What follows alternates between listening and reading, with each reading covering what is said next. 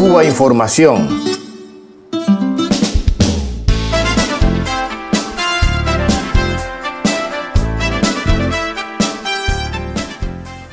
Los que en Miami se presentan como luchadores por la democracia en Cuba, es decir, los herederos del dictador cubano Fulgencio Batista, eran invitados este pasado domingo a un homenaje nada más y nada menos que a Augusto Pinochet, celebrado en Santiago de Chile.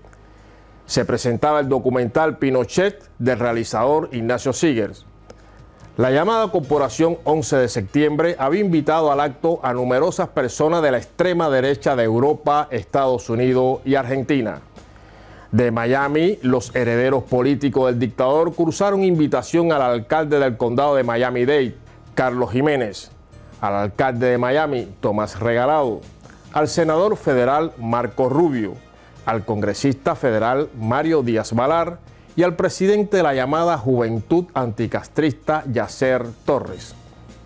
En estos días se cumplen cinco años y medio de la muerte de Pinochet, bajo cuyo régimen, apoyado por los Estados Unidos, fueron asesinadas por el terror de Estado más de 3.000 personas.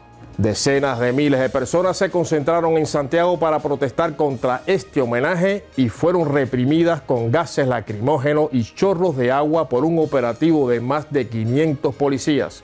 Más de 60 personas fueron detenidas y varias decenas heridas.